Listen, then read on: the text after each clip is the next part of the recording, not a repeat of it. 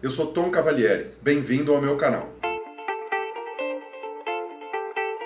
Já são sete meses de pandemia.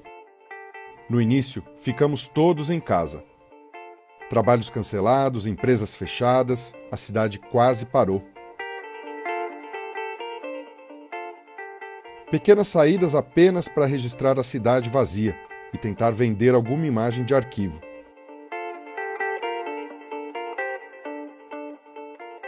Brincadeiras só no quintal. Aprendemos a conviver com as máscaras. Aulas virtuais, encontros, idem. A nova realidade do homeschooling. Nova rotina de trabalho, afinal de contas, não podemos parar. Depois, pequenas saídas para o campo, longe das aglomerações, um pouco de ar puro.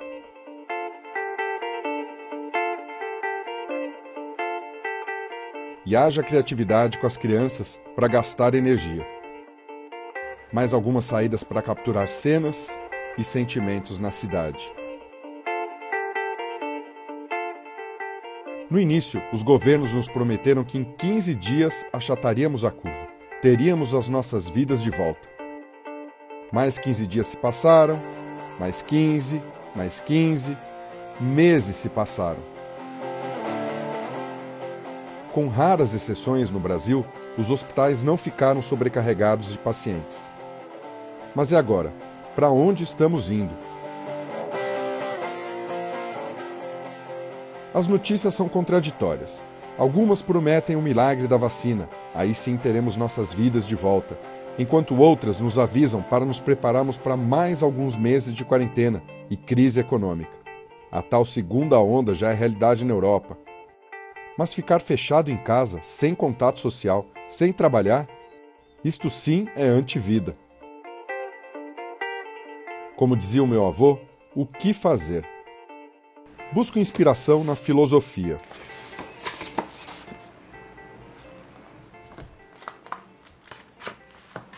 Como uma pessoa pode levar uma vida racional em uma sociedade irracional, por Ayn Rand.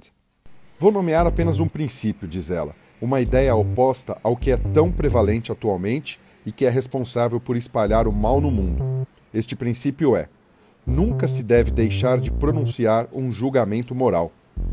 Julgar significa avaliar uma situação concreta com referência em princípios ou padrões abstratos. Uma sociedade irracional é uma sociedade de covardes morais.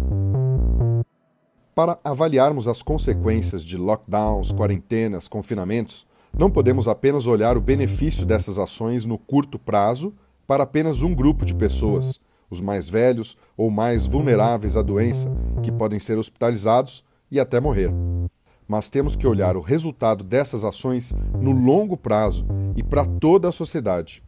E mesmo que as quarentenas fossem efetivas para essa doença, o impacto negativo na saúde de muitas pessoas que deixaram de controlar outras doenças por conta da quarentena é incalculável.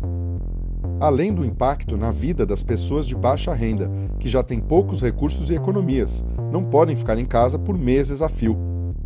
O que eu sei é que a nossa mente e a nossa produtividade são os nossos meios de sobrevivência.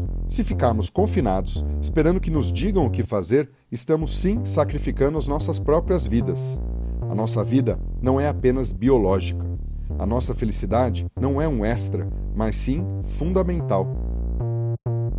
Precisamos de interação social, de vida cultural. Não resta dúvida sobre a existência dessa nova doença e aspectos ainda desconhecidos que ela causa. Mas, com o passar do tempo, fica cada vez mais claro que a reação generalizada de governos ao redor do mundo de confinar as pessoas indiscriminadamente, pretensamente em nome da ciência, foi um atentado às liberdades individuais e gerou um impacto negativo ainda maior. É preciso ter proteção focada nas pessoas mais vulneráveis. Estas sim precisam se proteger, mas mesmo assim cabe a cada um decidir como agir. Os governos não podem assumir que sabem o que é melhor para cada indivíduo e quais são os valores que cada pessoa tem para si. Há uma doença lá fora, é verdade, mas essa doença é a resposta irracional que os governos estão dando. Precisamos viver as nossas vidas. Isso sim é o normal. O que é anormal é que outras pessoas se digam donas das nossas vidas. Obrigado por assistir e até o próximo vídeo. Se você apreciar o conteúdo, deixe seu like, inscreva-se e assine a notificação.